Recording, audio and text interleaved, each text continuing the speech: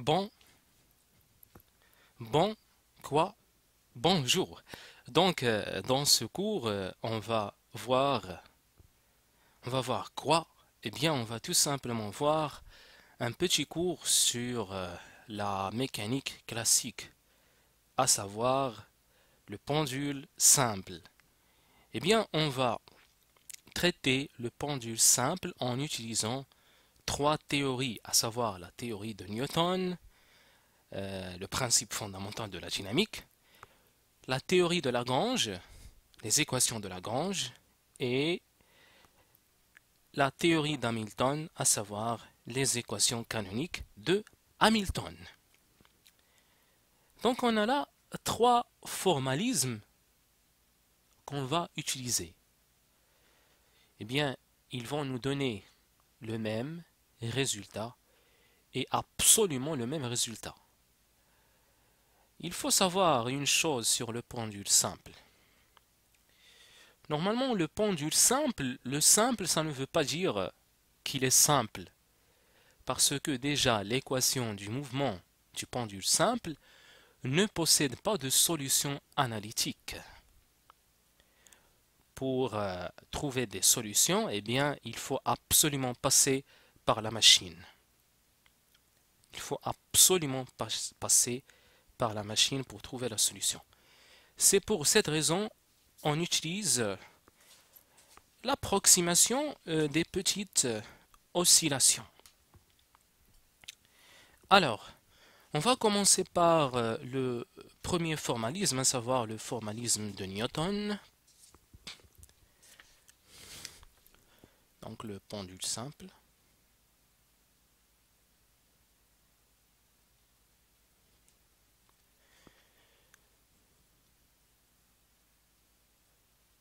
L'équation du mouvement du pendule simple pourra être pourra être établi en utilisant le formalisme,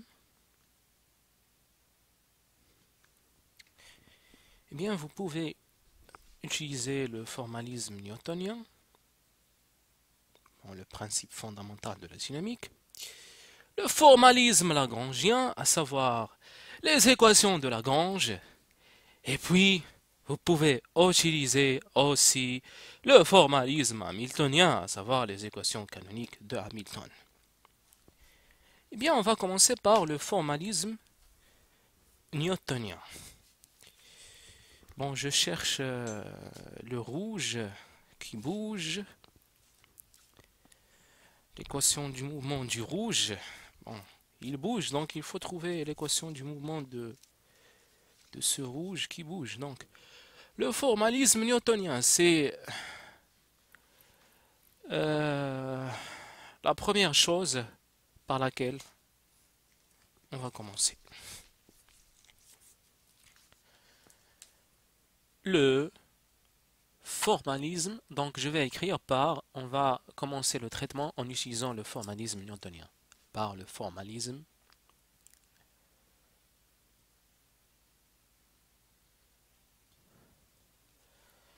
newtonien.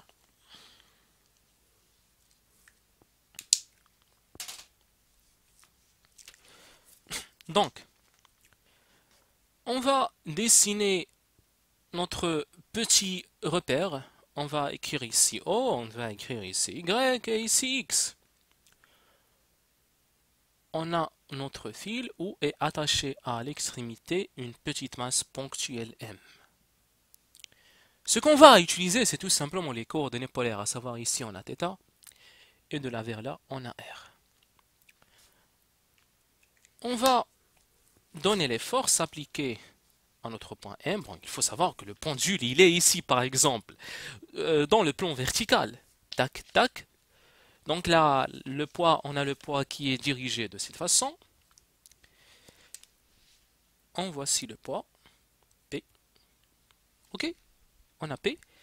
Et la tension du fil. Le fil, il est inextensible, donc la tension, elle est, elle est caractéristique de ce fil-là. Le fil, vous attachez cette masse. Le fil, il a tendance à euh, faire euh, venir cette masse vers lui. Donc, il exerce une certaine tension qui est comme ça. Donc, elle est dirigée comme ça. Voilà, elle est dirigée comme ça.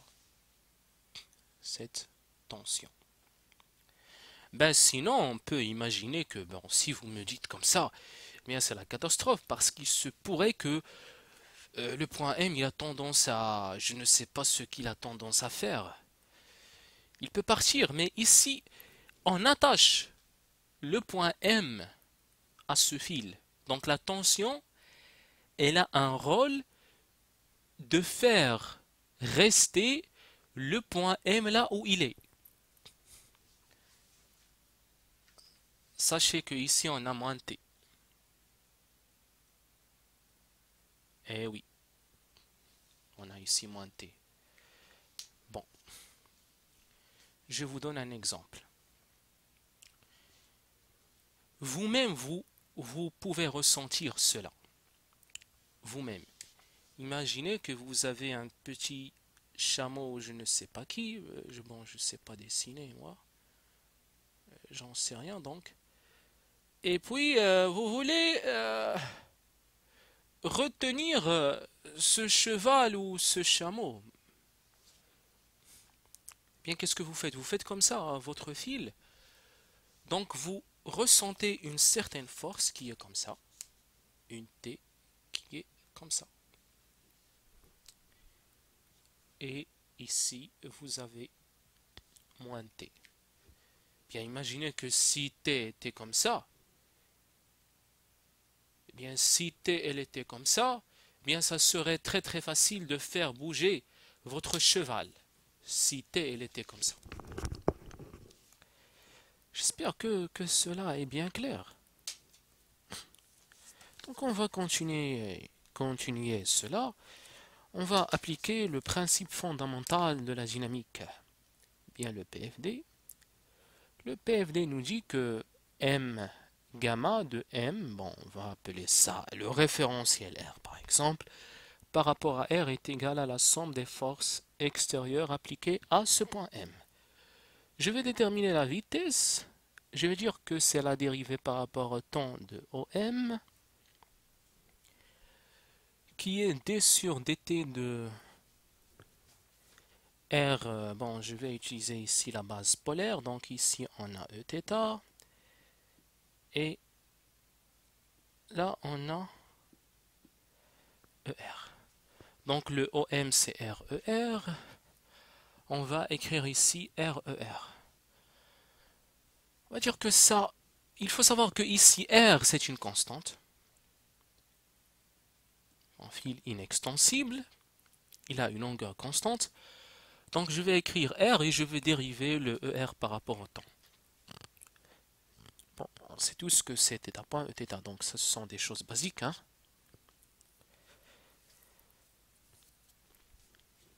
Maintenant, place à l'accélération.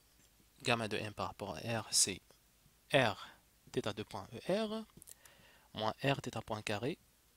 Euh, donc ici euh, θ, désolé. Et puis moins r θ point carré ER. Donc ça c'est tout simplement l'accélération. Voilà.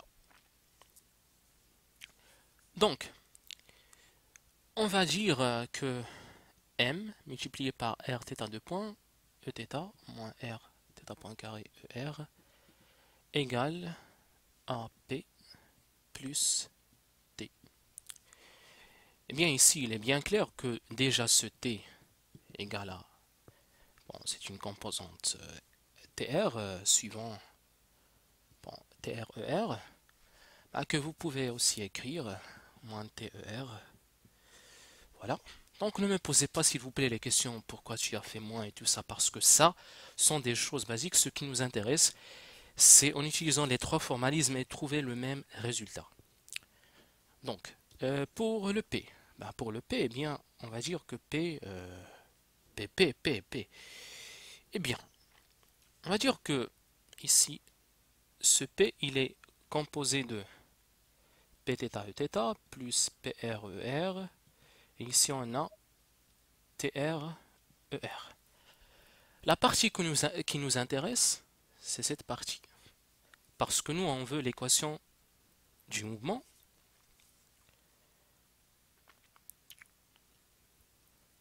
Le mouvement, il est circulaire, comme ça.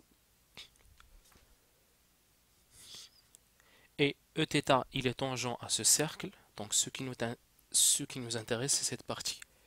Donc on va dire que MR, θ de point, égale A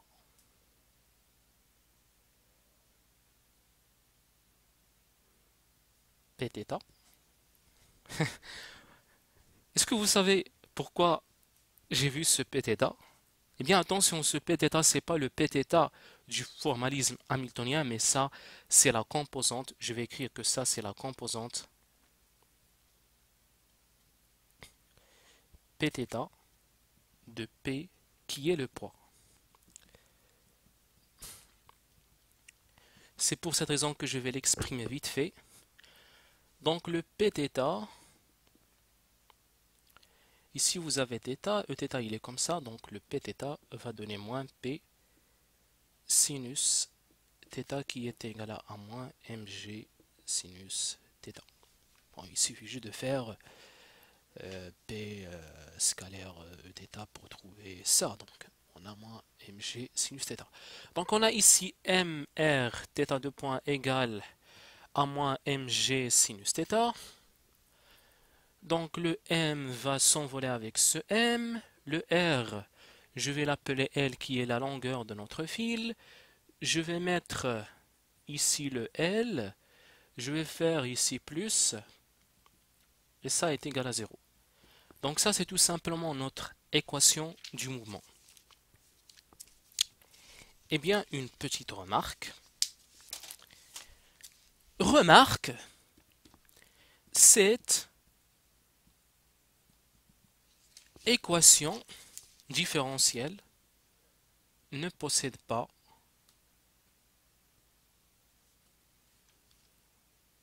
de solution analytique.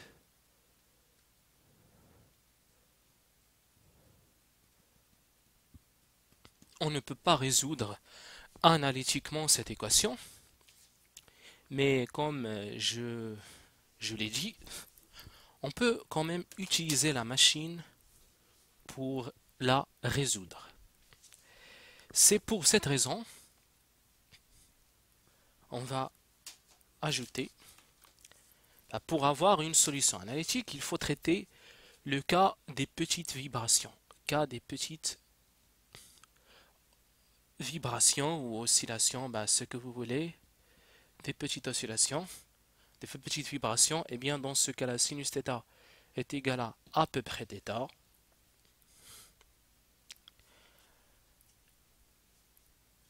on va avoir θ point plus g sur L θ égale à 0. Dans ce cas-là, la solution s'écrit sous la forme θ0 cosinus oméga t plus phi ou θ0 et phi euh, où θ0 et phi sont déterminés peuvent être déterminés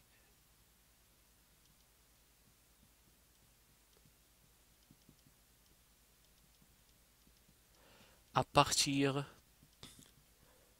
des conditions